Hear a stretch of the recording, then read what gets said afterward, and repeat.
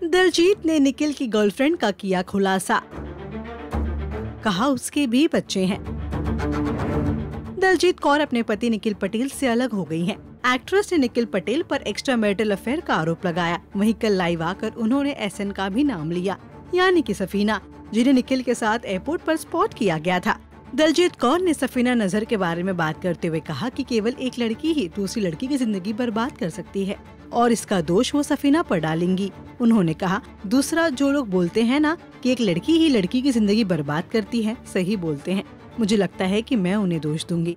जब पति पत्नी के बीच कोई समस्या चल रही हो, तब वैसे भी वो लोग एक दूसरे के बारे में कुछ अच्छा नहीं कहेंगे। ऐसे में किसी तीसरे इंसान को बीच में नहीं आना चाहिए।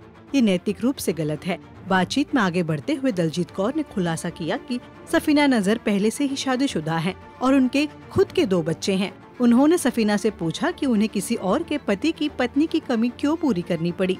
एक्ट्रेस ने कहा, आप खुद शादीशुदा हो। पति है, दो बच्चे हैं और किसी और के पति का खालीपन भर रही हो।